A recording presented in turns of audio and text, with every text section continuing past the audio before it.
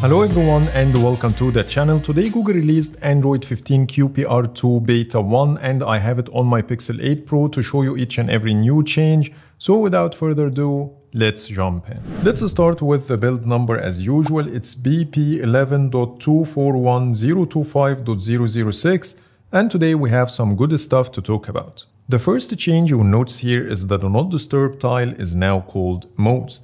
That's because now we have the ability to create custom do not disturb modes similar to what we have on iOS. And when you tap on the tile, instead of toggling the feature on or off like before, it will expand, giving you the available options. By default, you have the normal do not disturb mode and the bedtime mode under the same tile. Then when you tap on settings, that's where you will see the new settings page.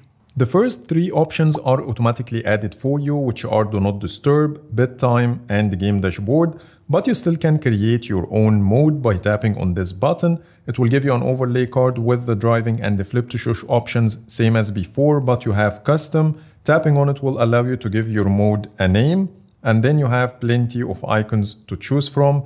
I'm gonna choose this one as an example, and then you can tap on done and that's where it will give you all the customization options. The first thing you can do here is to set a schedule. By tapping on this button, it will give you two options, either to set a day and time or based on your calendar events. When you tap on day and time, it will automatically put 9.30 to 5 p.m. Sunday through Saturday, but you can customize this by tapping on the option and then change the timing.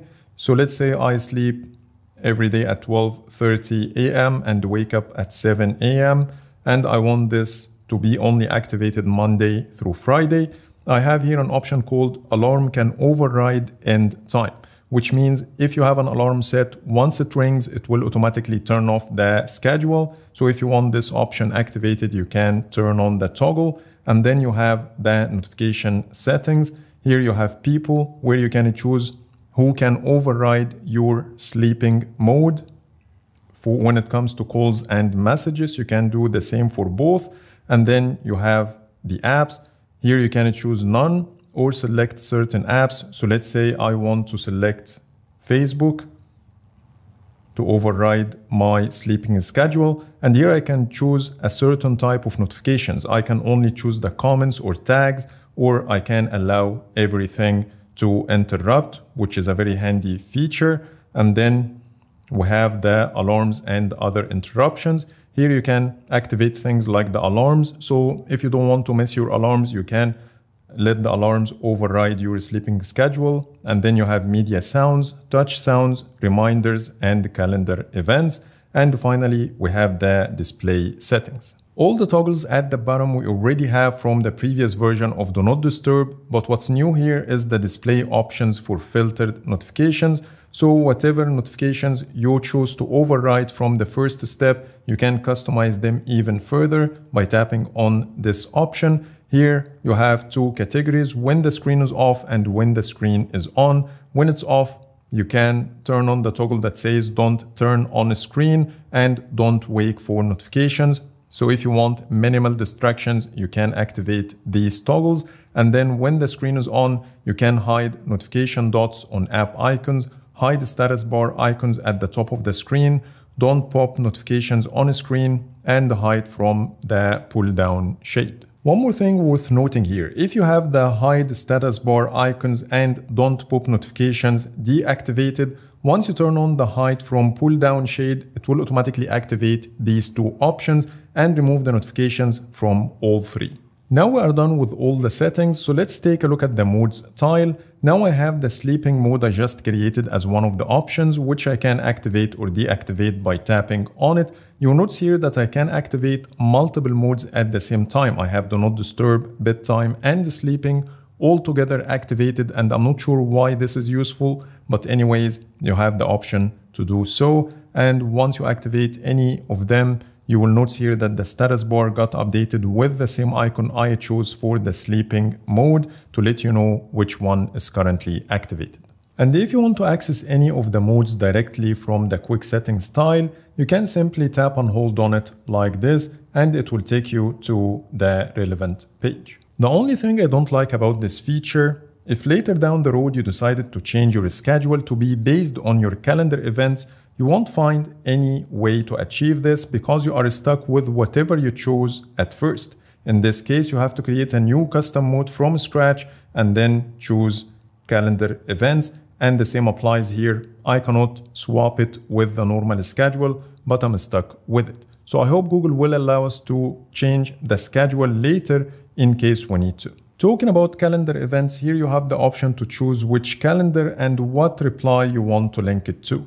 Last but not least, when it comes to the automatically created modes like Do Not Disturb, Bedtime, and Game Dashboard, they work exactly the same but with slight differences. So for example, under Do Not Disturb, you don't have the option to schedule. You only get this duration for quick settings, which is something we already have. And when it comes to bedtime, here you can adjust your bedtime routine and you have pretty much all the other options exactly the same. When it comes to game dashboard, as you see, it looks different as well. Here you have the app settings, which will take you to the game dashboard settings. And here you have allow all notifications, but you can turn off the switch and you will get the same customization options as we saw in the custom mode.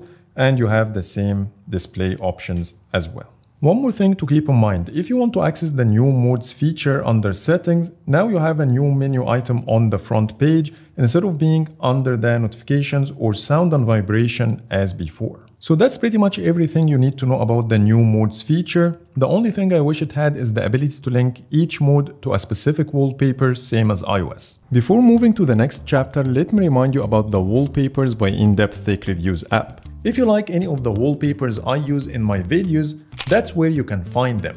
I release 12 new wallpapers every week. It provides you with multiple styling options like the blur, brightness and hue to make your wallpapers stand out. With the ability to edit your home and lock screen wallpapers separately, sync your favorites across all your devices and more. The Google Play Store download link is in the description and now let's move on to the next feature. Now let me show you some random tweaks I spotted after installing this build and the first one is related to the themed icons with QPR2 Beta 1, now the icons are darker. And for reference, here's how the same icons with the same wallpaper and the color palette looks on QPR1 Beta 3. You notice here, now it's darker. And when I activate the dark mode, you will see the same difference between the two. The second change is under the battery settings. Now you can check up to seven days of usage, not only a couple of days like before. So here I have from Thursday to Wednesday, I can check whatever day I want and I can even drill down in each day like this. So that's it when it comes to the new features. Now let's talk about the bug fixes. The first one is related to the show long app names.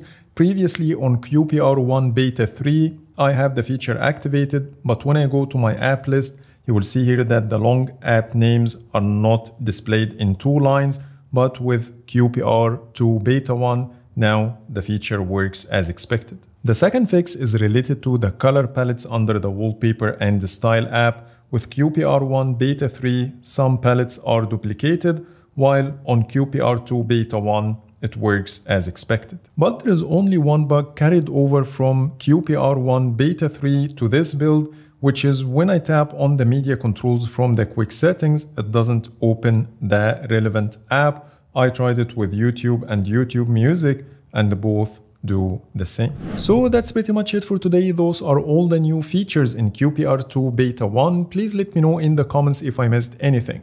But for now, thanks so much for watching and see you in the next video.